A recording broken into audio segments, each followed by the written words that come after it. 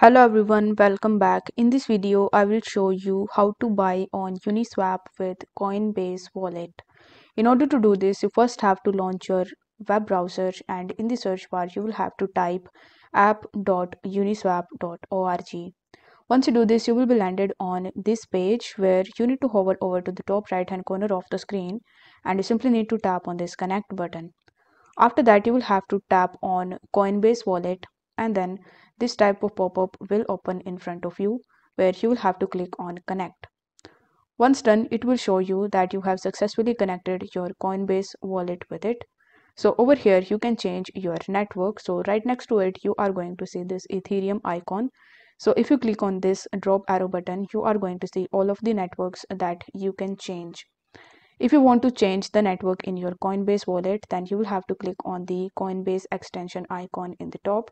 And here you will be able to see ethereum icon. So if you click on this icon you are going to see a bunch of different networks that you can choose. For this video i have selected it as ethereum. So after selecting the network you can start your swapping process so in the first section you will have to select it as ethereum or you can even select any other coin from which you want to swap your token. Then you will have to click on select token and after that you will have to select your coin. Then you will have to enter the amount of ethereum that you want to swap to 1inch. So after selecting the amount you are going to see the swap button in the bottom.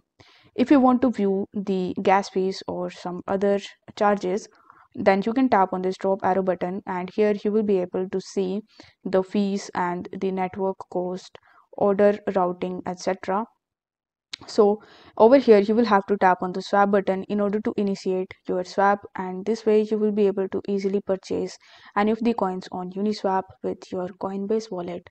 So if the video was helpful then don't forget to like the video and subscribe to the channel. Thank you so much for watching